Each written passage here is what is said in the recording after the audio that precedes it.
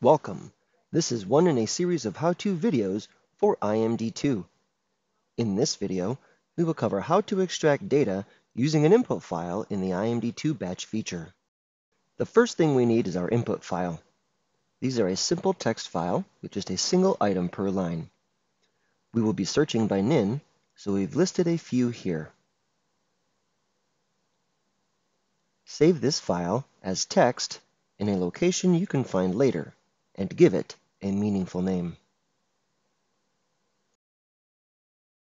Open IMD2 by browsing to the installation folder and double-clicking the IMD2 application. From the main page, we'll use this menu to select Batch. Once in the Batch feature, you'll see there are many options available. This drop-down contains the primary keys. In this example, we'll choose NIIN.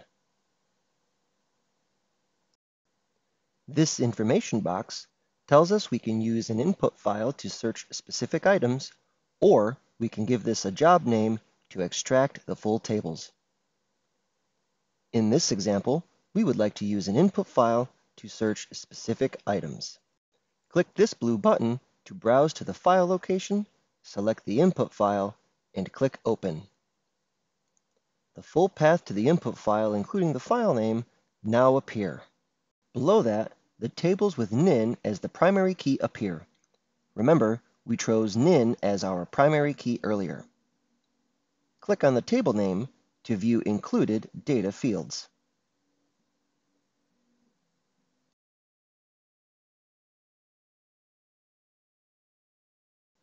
In this example, we'll choose only freight and packaging.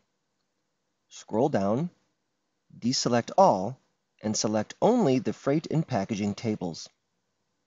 Once the tables are selected, click the Output folder button and browse to the desired output location.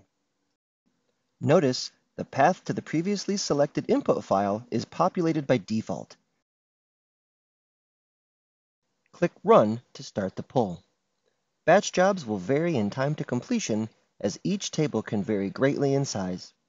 At the top of the screen, the information bar has changed to a progress bar. It shows the job finished successfully and how long it took. This was a fast job, as this input file only had a few items, but batch jobs can take a list of hundreds, thousands, or even tens of thousands of items. During longer extracts, the progress bar will indicate that the job is processing, what file it's processing, how many tables have been processed, and how long the job is taking. Upon completion, click here to open the output folder. In the output folder, we see files named to include the input file name along with the table names selected for output.